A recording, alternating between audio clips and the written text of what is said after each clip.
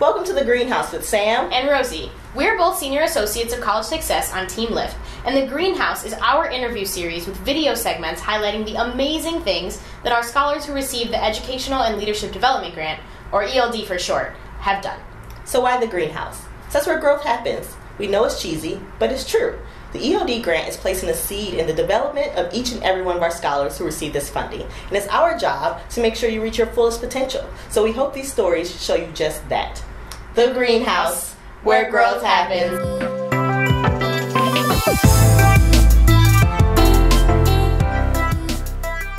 I am here with Ngozi Amadikwu and Nneka Okeke, and I'm going to let them go ahead and introduce themselves. Hi, um, my name is Ngozi. I attend the University of Illinois Urbana-Champaign. I'm currently a global studies major. Um, I grew up in Uptown, north side of Chicago, and I attended Jones College Prep.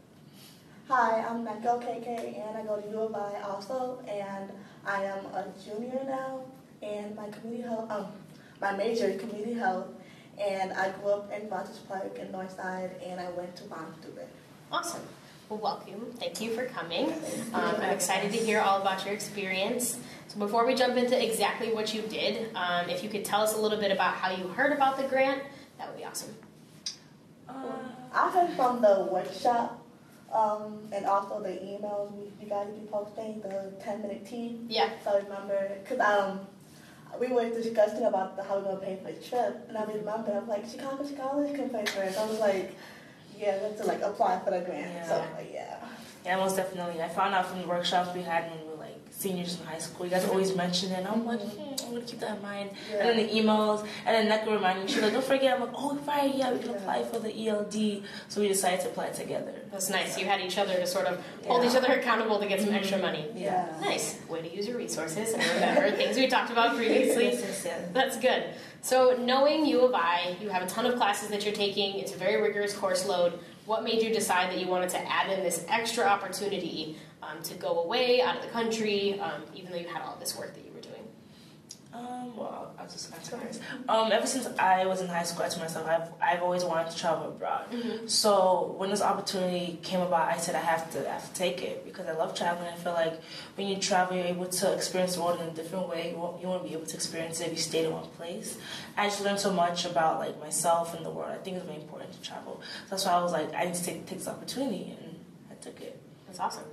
Yeah, yeah. Cause, so I'm, I, it was a, I was a freshman, right? So my spring break, I didn't do anything. I was like, no, I cannot do anything my sophomore year or junior year. So I was like, I need to find something that, so I can, you know, try to find something that I can travel or, you know, do something that can benefit me in the future by like, you know, helping people with healthcare or anything. So I knew I had to take care, I mean, I had to do it. Yeah. And yeah. Good. Take advantage of it. Yeah. So we've heard that you needed to go. You knew you wanted to travel out of the country. So where exactly did you go, and what did you do? Okay. we went to Nicaragua. So the trip was global, global, global medical training. Okay. And so basically, we went to different villages and we gave we were basically like a doctor. So yeah. we were like um, they'll tell us the symptoms and we would like write it down in Spanish, like okay. um, that was difficult. Oh yeah. I took Spanish, but I forgot Spanish, but she didn't take Spanish at all. Spanish.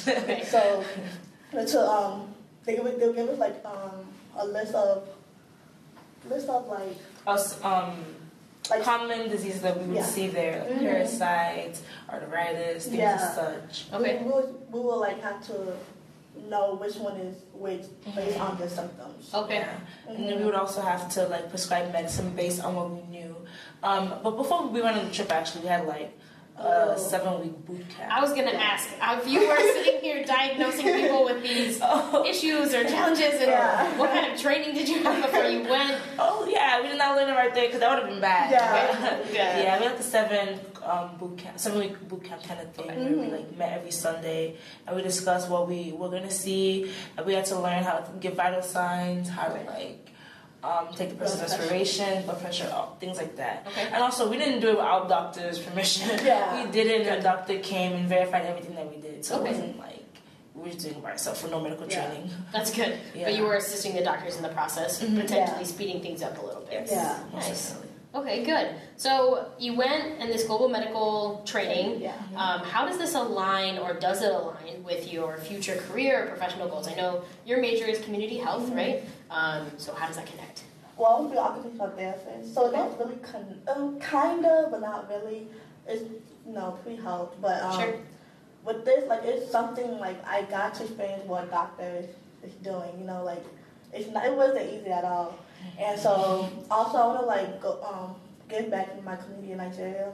So like I want to like you know I this trip helped me learn you know how to do vital signs, Yeah. how to like um talk to patients, speak in Spanish and just um, you know see that connection with other people like in other countries and it helped me grow a lot. That's awesome. Yeah. What about you? Um, so me, I personally want to go into the global healthcare field. Okay. Um, I want to work for Doctors Without Borders one day, so I feel like this was like the perfect experience for Yeah. me.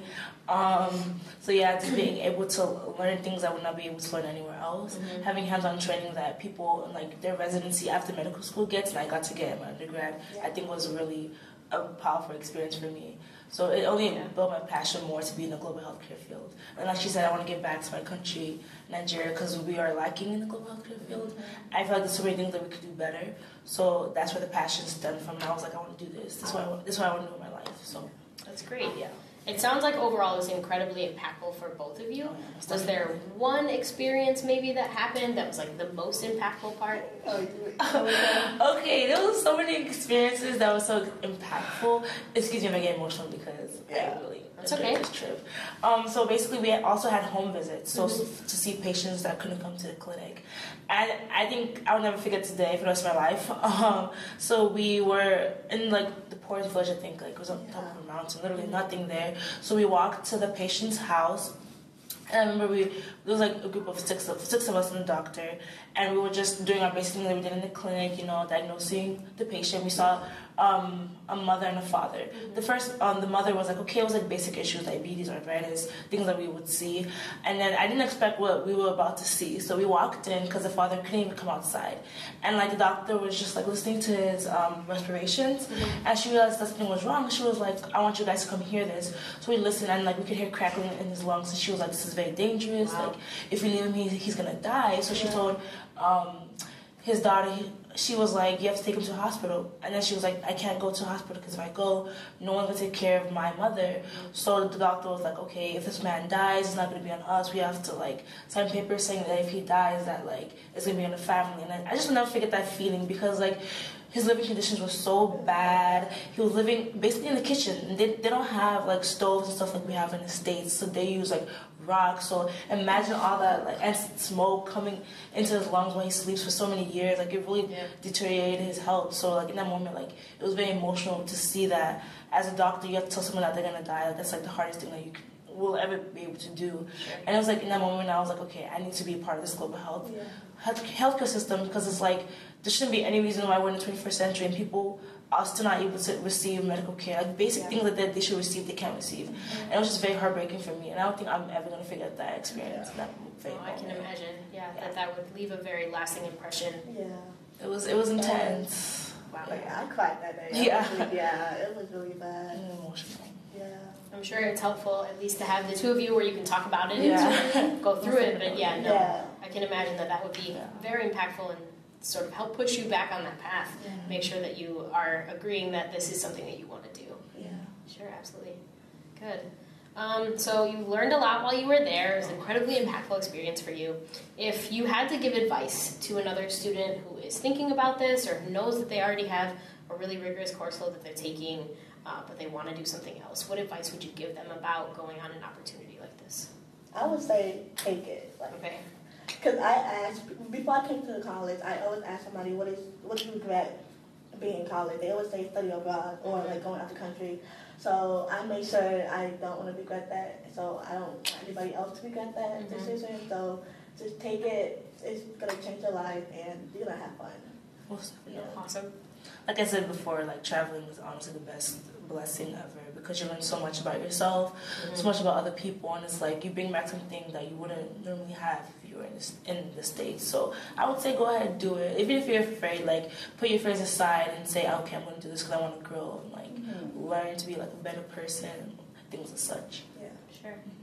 That's great advice. Good. so, as you know, we call this video interview series the Greenhouse. Mm-hmm. So, we talk about that's where growth happens, and it sounds like this was a very great experience for you in terms of growth. Um, was there anything that you could talk to in terms of a, um, a way that you grew or were challenged or transformed through this experience? oh wow.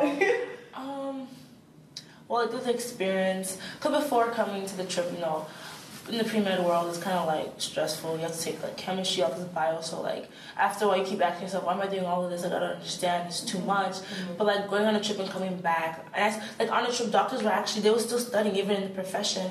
And like after seeing that, I was like, "Wow!" Like, that really motivated me to like want to work more mm-hmm. and want to work harder because I was losing I was losing motivation to be honest before I went on the trip. But after I came back, I was like, okay, I have to work hard to like be where I want to be. It's, it's, not gonna come easy, but like I think it's worth it. So after the entire trip, I was like, okay, because get yourself together. like yeah. you either do it now, you never do it. So I got a lot more motivation after I came back from the trip. Good. such things as such.